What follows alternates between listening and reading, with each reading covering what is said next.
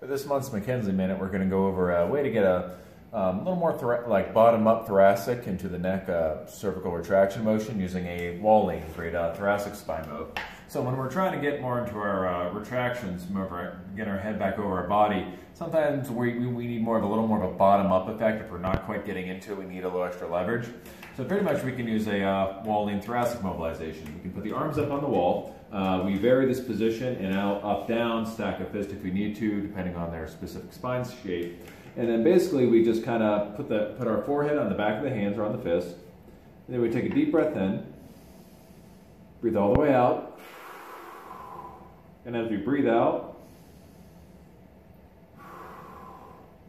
we just kind of feel the uh, rib cage falling towards the wall as the head stays still. So instead of bringing the head back on top of the body, we're bringing the rib cage and the thoracic spine underneath the head. So uh, just the reverse of usual retraction sometimes works better and give a shot.